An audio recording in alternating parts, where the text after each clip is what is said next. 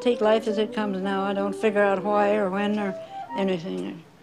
It's a great life if you don't weaken, but who the heck wants to be strong? That's what I think. I used to be in politics in North Dakota, and I had 17,000 pencils when I come from there. It was my hobby.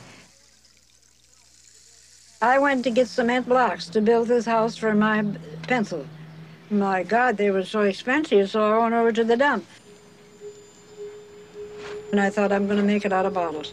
And every place we went and I seen it, play bottles, you know, I picked them up and and I counted my bottles here a while ago. I took two days off and counted them, and I have one million and fifteen bottles. That's quite a lot. I haven't got that many now, they're broke, but that's what I had.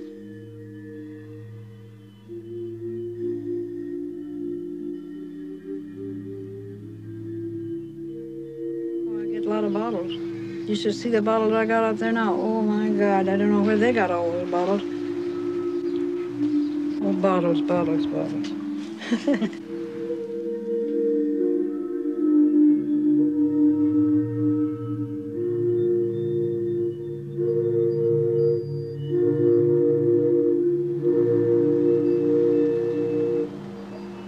I don't know if you call them huts a building or not, but I've got about 15, I think, or 16. And I enjoyed it. I didn't think this would work. You know, I built that pencil house, well, that wasn't big enough, and I built another one, that wasn't big enough, and so I kept on building. And when I bought this place, there was no driveway out there. Uh, There was a ditch, and I put a pipe in for water and put more covered up with dirt, and a fellow drove along with a big fancy car, and he never said a word, but I went over and I said, what can I do for you? He stayed too long? Well, by God, he says, I haven't saw that woman shovel dirt in years, and I'm enjoying this. Ain't that crazy? There was a man come in the other door the other day from over there, and I was coming from here, and I got about halfway, and he said, "Are you the crazy woman that built this place?" I said, "I guess I am the only one here." you know, nobody, if they're in their right mind, would build a place like this, especially an old woman. I was 55 years old or 60 when I started it. Oh, I just took a notion. But I done everything here. Well, that's a cinch. Nobody ever done anything for me. I can see how ambitious I was. My God, there's a lot of work keeping a place like this, besides having so many visitors. When we get all through showing the people around, I bring them into the meditation room. And we sit down and I sing a little bit. Did you ever hear Let the Rest of the World Go By? I'll sing it for you, huh? Because I can't play it on the piano. To a ball I did go where gowns were cut low, held up only by a strap.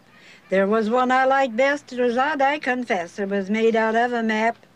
Now he sings a chorus. Her back was Brazil, her chest was Bunker Hill, and just a little bit below was Mexico, and both her knees was Japanese. Around her waist, why, there was Greece. Just then I spied my wife, and to save all future strife, I let the rest of the world go by. Now that's all right, isn't it? Cleopatra's bedroom. I don't know. They asked me why I named it. Well, I don't know. It just come to my mind. Uh, There's some millionaires live down the hill, you know. And she said, I've got a bed and a dresser that my mother gave me 28 years ago. So I took it, but I was offered a thousand dollars for that bed and dresser. They said, oh,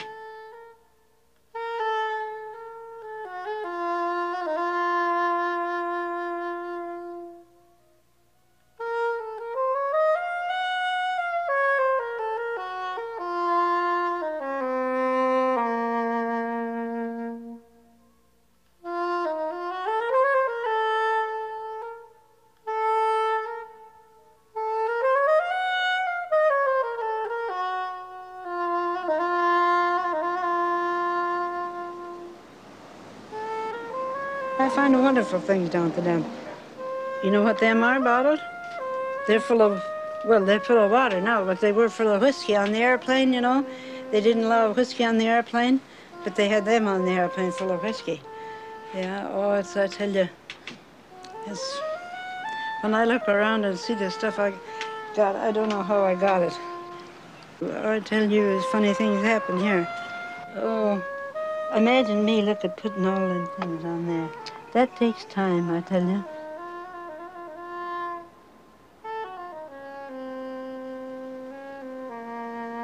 I was 15 when I got married, and I married a man 52 years old. And I lived with him till he died at 72. And uh, then, uh, oh gosh, then I took my seven kids and took off for Seattle after he died. And uh, I married a man, he never smoked, he never drank, and he never worked. He uh, buy a team of horses for $100, sell it for 200 We lived good. I had seven kids, too. Six of them died. It's too bad. I, I lost four boys and two girls. That's kind of hard on me now.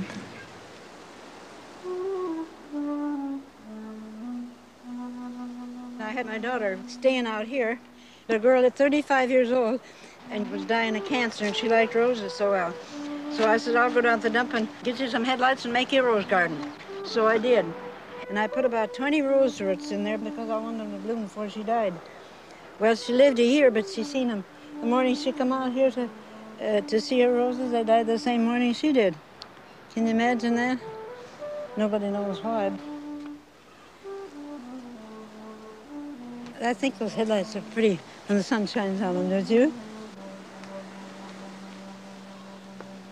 Gotta watch my step, I tell you.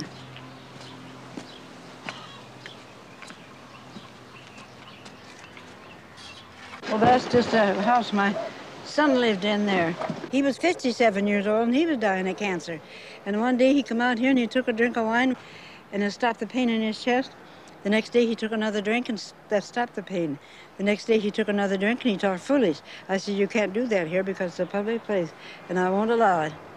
And, uh, well, Mommy says, what's the difference? When I die, they'll never take me to the graveyard. The hearse will be broke down. And five months later, he died, and we took him down to the Catholic Church, and when they put him in the hearse, it broke down. Can you imagine that?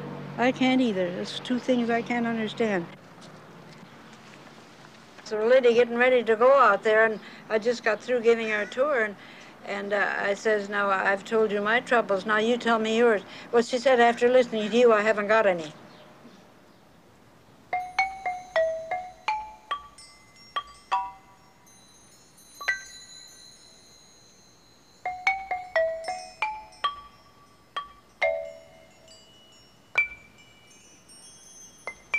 Now, that's the house I lived in when I was 15 years old. That's my mother and dad. But you know, when I got married, my husband built onto that house and bought new furniture. I was sold, I think. Don't you? and I looked just like my oldest daughter, and she was beautiful, but I never knew it when I was young. You know, I just took it for granted I was looking the way I was. and I dressed good, you know, I dressed pretty good. Never knew I was good looking. Can you imagine that? when I think of that. I had $600 in there. That's where I had the $300 stole out of there. And uh, I've been dressing them up, you know. I ain't got much ambition, but I dress up a couple every day.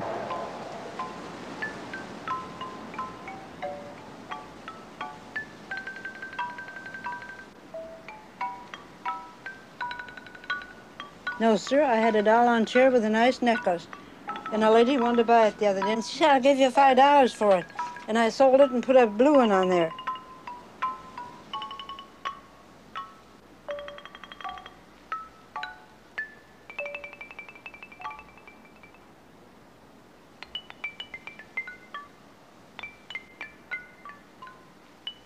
Sometime I wish I drank and smoked. That's the only trouble. Well, they never done that years ago. The woman was had to go in the back room when he took a drink or smoke. And now, my God, you see it all over. I'd get drunk and I'd have a good time. but I guess them days are gone forever. Well, there's me and the man I was going to marry. He was a sheriff on pictures. Kirk, his name is, Jack Kirk. He went to Alaska to see about something and he died up there. And then about a year later, I was going with another guy and I thought probably I'd marry him. And he went to some foreign country, and by God, he got killed. So I thought I'd give it up. Diamond Jim's, Nevada Club. I love to gamble. I built those down there in the ground. A heart and a spade and a diamond and a in a, what you call it, a club. I must have done that when I come back from Las Vegas.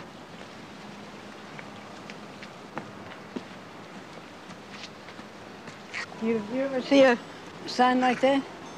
San Francisco World's Fair in 39? you wasn't born then. but they make such remarks about my walk. You know, the men think more of that walk than they do of any house because everything I found at the dump, you know, I've got guns and everything in there. I saw a woman sitting here on the porch, and I thought she hurt herself. I got a towel that said got French salad dressing on. She was sitting there with a paper and pencil and copying it off.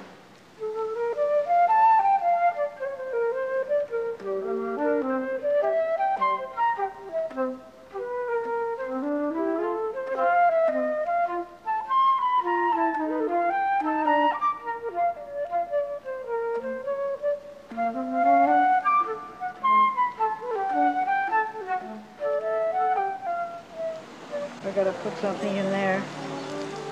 Places like that, you know, they step in and might tumble down. And here's another one. There's a dish.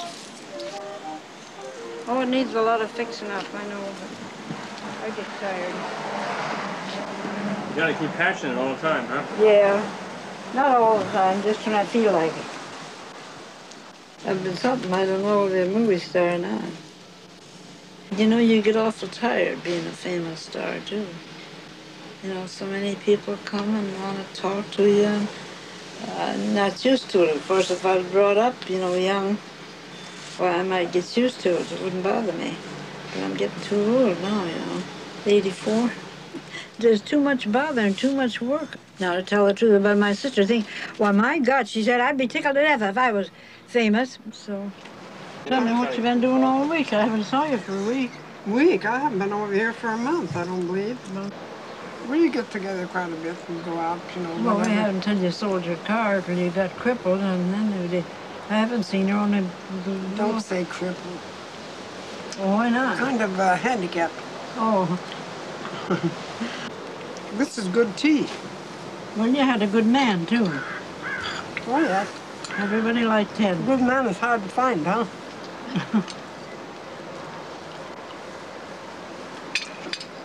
well, what are you eating? Chicken? Yeah. This time of the day? Well, what difference would it make what time of day it is? Well, I belong to three card clubs, so but I get goes to all of them too. I what? You go to all of them too. I don't well. belong to any, and I don't go to any. Well, you don't have time. Oh. You're a busy woman, but I don't have anything to do. All you do is stay home and take in money. I wish I could do that as easy as she does. Yeah, but not so darn many people at one time, 40 people. My well, I God, can come they... over. And, I can come over and help. Yeah, I can be the cashier. I had uh, about 15 uh, senior citizens here the other day uh, in the morning before you came. They were here, and they scattered all over, and one gave me, a, I only charged them 75 cents to get in. And they all give me quarters and nickels and dimes and dollars, and I had to have the change in my pocket. Oh, God, and they were scattered all over the place. And that hurts her feelings when she gets all that money. well, she's doing all right. Well, I'm looking out for myself anyway. I made this house because I've got 17,000 pencils. Or 18,000 as the case is.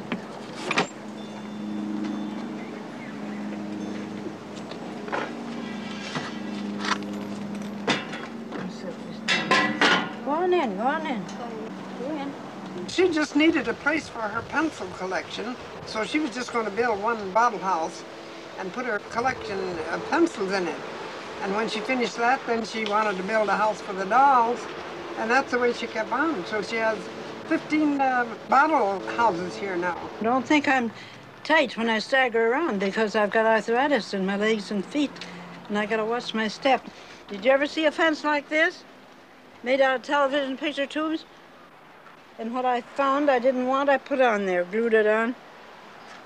Oh, I've got to clean them off too. My God, they look awful. I don't know how to put those water bottles in there.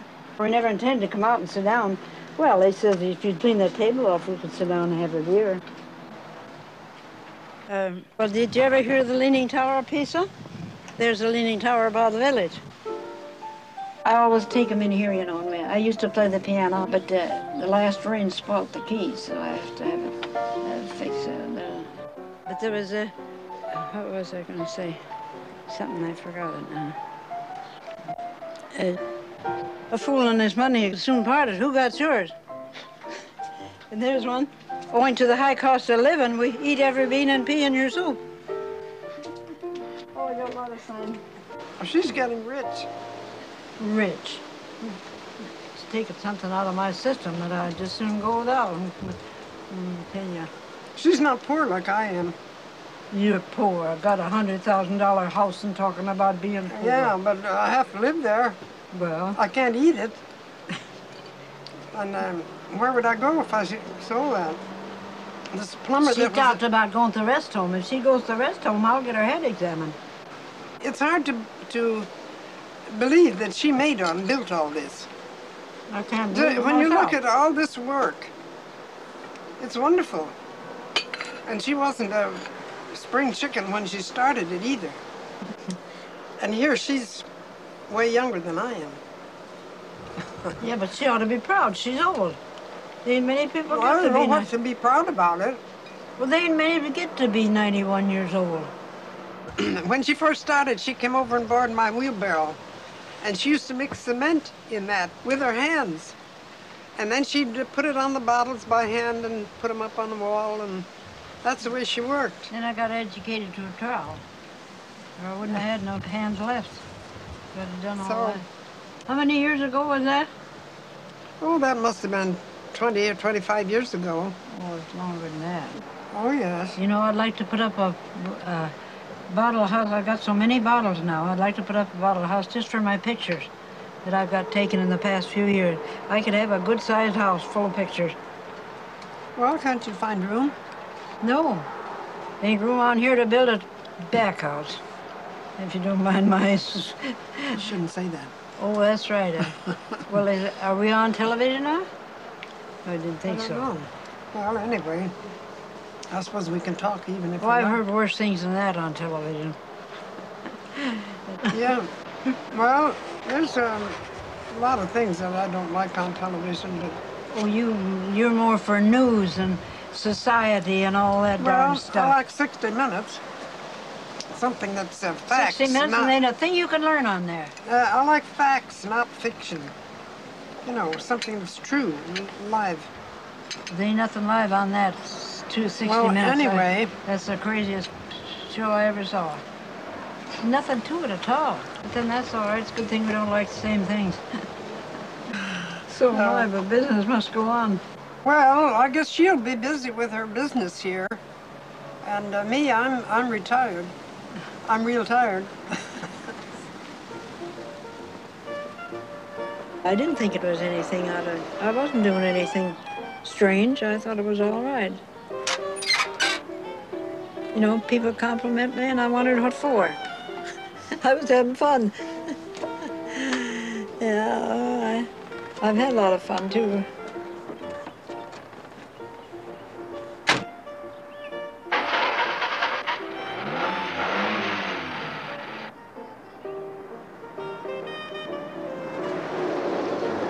When I built this place, I didn't know what I was doing or what was going to happen. My God, so I never would have built it. But I had a dump close by, you know, and that helped.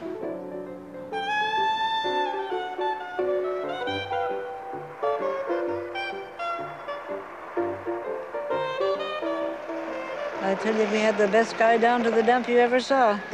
He'd put everything on the car for me. I found a whole two boxes of square tile like that down there. The box has never been opened. We said, I don't want them. I'll put them on for you. Put them on the truck. You know, help like that counts. Don't you think it does? The people used to help me a lot. So I uh, kept on going, and people kept coming, and so I kind of ended up by having this place. Now look what's happened to it. My God, I'm known the world over. That's something. I was just a poor country girl when I started. so, you know, if you got ambition, you can do something, and I must have had ambition.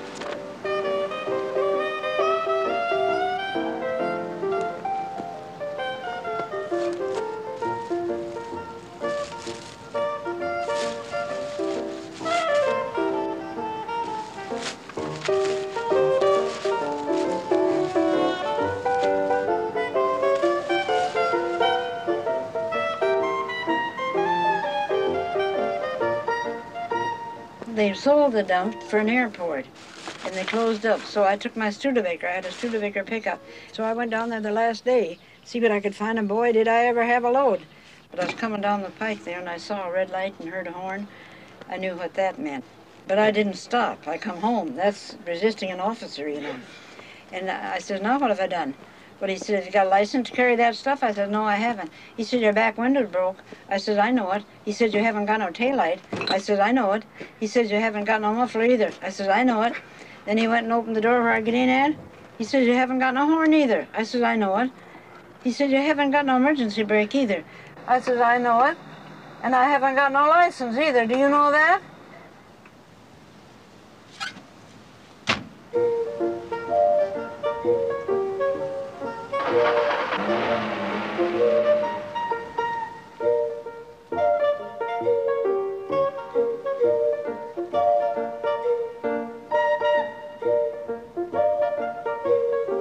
Is a roundhouse.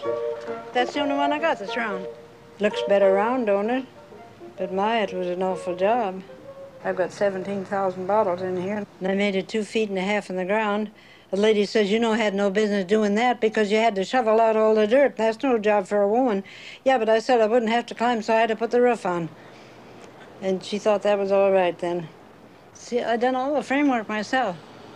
Even the men tell me they don't know how I done it. I don't know how I done it. Mannequin I found at the dump. But I put a dress on her, a velvet dress, oh, a plushie, and a mink stole. And went out there one day and both her arms were broke off when her mink stole was gone and the dress was gone. Well, now they didn't have to do that to break her in two. You know, it's awful when you can't trust anybody. I never heard of a round bed, my God. I lived in the country. Didn't see much. And I found that at the dump 20 years ago. And I wonder who had that there. It's a, uh, well, I don't know what it is. Do you? You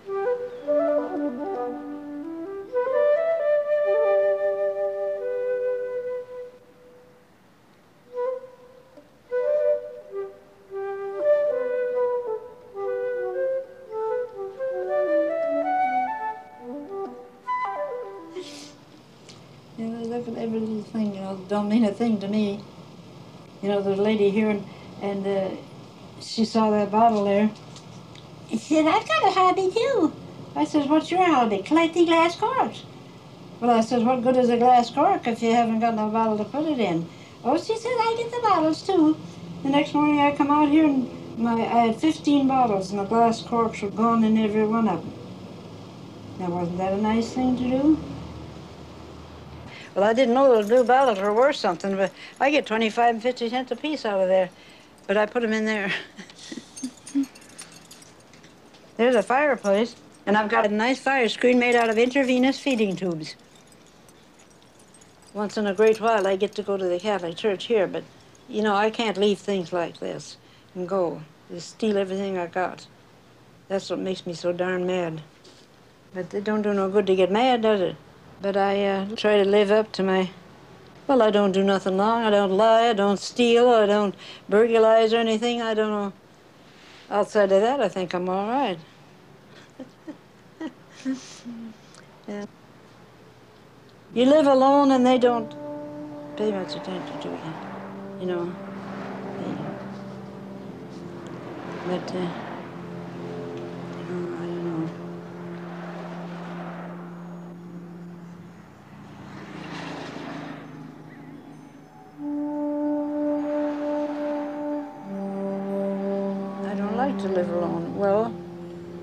Got nobody to boss me around or anything, you know. so, but I guess I gotta take it. I don't know what else I can do. I don't want to get married again. I don't want another man. Because I'm getting too old for that. I was 84 years old last month.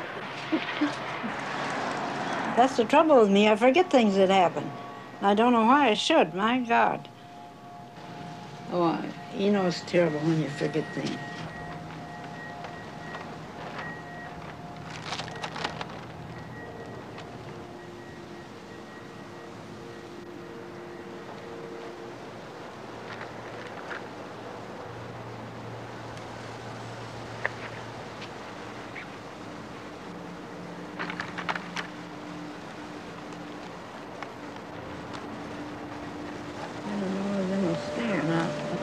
Maybe I could have got a little straighter. I don't know.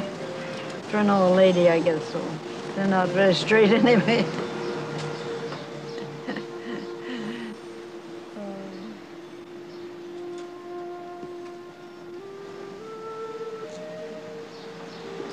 I'm all done here. Well, I don't know. I've done so many pencils, I can't think anymore.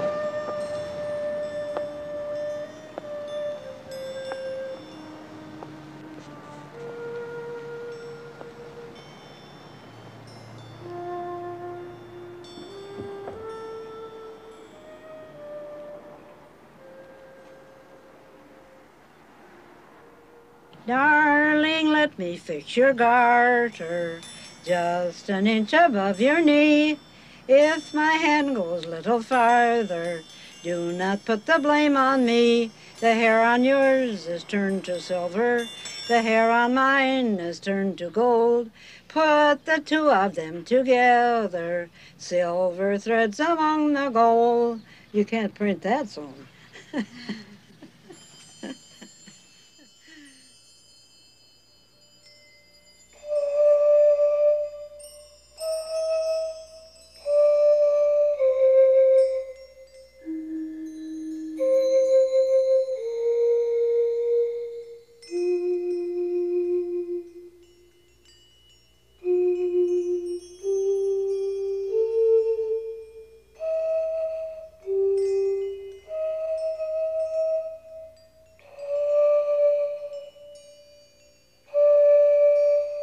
don't you want to see what's in here?